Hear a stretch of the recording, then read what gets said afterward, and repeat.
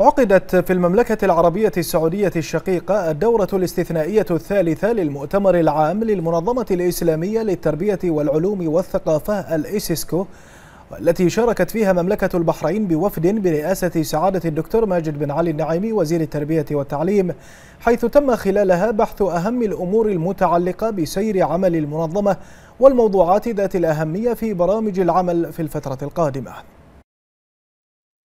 خلال الدورة الاستثنائية الثالثة للمؤتمر العام للمنظمة الإسلامية للتربية والعلوم والثقافة الأيسيسكو كان على رأس جدول الأعمال تعيين مدير عام جديد للمنظمة.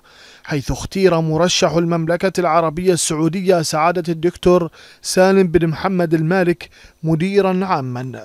كما أيدت الدول الأعضاء المشاركة في المؤتمر المقترح الذي تقدمت به مملكة البحرين بأن تكون مدة شغله لهذا المنصب إكمال المدة المتبقية للمدير العام السابق إضافة إلى دورة جديدة.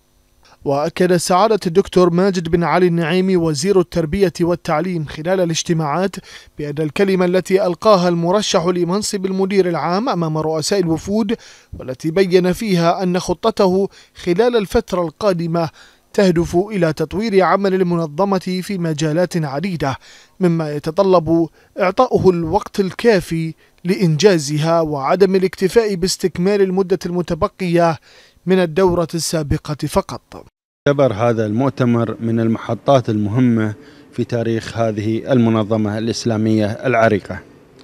وقد بينت خلال جلسات المؤتمر واللقاء مع رؤساء الوفود بأن مملكة البحرين تنفيذا لتوجيهات سيدي حضرة صاحب الجلالة الملك حمد بن عيسى آل خليفة عاهل البلاد المفدى حفظه الله ورعاه تدعم وتساند أنشطة المنظمة لما في خير وصالح العالم الإسلامي.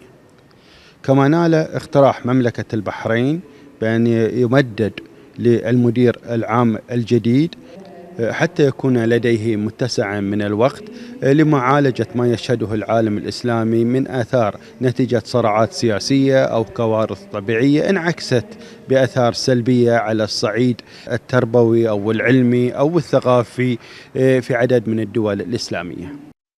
وعلى صعيد متصل أكد وزير التربية والتعليم على دعم مملكة البحرين لمشاريع المنظمة من منطلق حرصها على مساندة كل ما من شأنه خدمة العالم الإسلامي.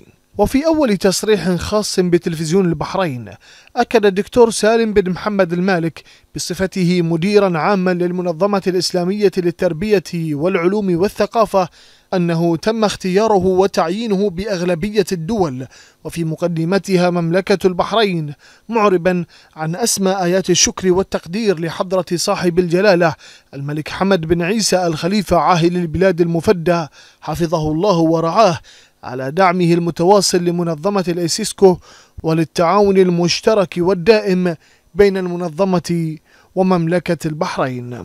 لا أقول إلا هذا من فضل ربي. ولله الحمد تم الانتخاب وتم التعيين وسارت الأمور على بركة الله بتأييد غالبية الدول على رأسها مملكة البحرين الشقيقة. ومن هنا أرفع أسمى آيات الشكر والتقدير لجلالة الملك حمد آل خليفة على دعمه المتواصل للمنظمة الإسلامية للتربية والثقافة والعلوم وللتعاون المشترك الدائم بين المنظمة ومملكة البحرين. كما أؤكد على أن المركز الإقليمي للاتصال وتقنية المعلومات الذي هو في البحرين سيكون بحول الله منارة إشعاع يشع منها ما يتعلق في التقنية الحديثة وما يتعلق في فضاء الذكاء الاصطناعي إن شاء الله. ستكون الإيسيسكو داعمة لهذا المركز بكل ما تحمله الكلمة معنا. لا أقول إلا شكرا. البحرين هي بلدنا والإيسيسكو هي منظمة داخل البحرين وليست فقط في جميع الدول العربية. شكرا لكم ونتمنى إن شاء الله التوفيق.